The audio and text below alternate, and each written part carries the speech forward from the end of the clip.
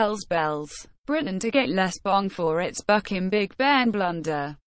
London. Reuters. Renovations that will silence the Big Ben bell in the British Parliament's famous clock tower for four years will cost more than double the original estimate.